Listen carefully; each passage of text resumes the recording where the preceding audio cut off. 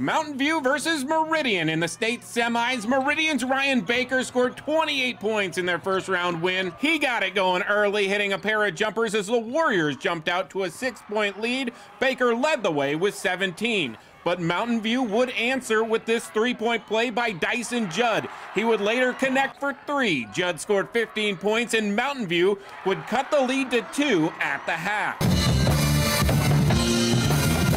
But in the third, Meridian would come out playing as well as their band. Max Williams slipped to the screen. Meridian would have four players in double figures, including Josh Christensen, who had a huge second half as the Warriors built their lead up to 11 but plenty of fight left in Meridian in a wild fourth quarter where the teams combined for 53 points while trading punches back and forth. This three by Owen McBride cuts the lead to four. With just over three minutes to play, this steal and lay in by freshman Logan Hosfight, who led Mountain View with 23 points, cuts the lead to two. But Meridian would once again have the answer. Some close calls that went both ways at the end, but this huge bucket would lead to a 71 68 victory.